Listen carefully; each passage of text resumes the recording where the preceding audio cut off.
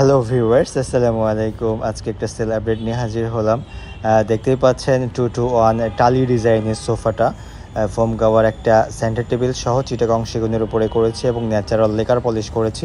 তো এই সোফাটি চলে যাচ্ছে, সাথে একটা ওকের একটা আলমারি আছে, এটা চলে যাবে হচ্ছে লক্ষ্মীপুরে। ঢাকার বাইরে অনলাইনে দেখে আমাদের এই সোফাটি আপনারা কাস্টমারে অর্ডার করেছিল। তো আমরা এটা প্যাকিং করছি প্যাকিংগুলো করে আমরা হচ্ছে সুন্দরভাবে এটা পৌঁছে দেওয়ার ব্যবস্থা করছি।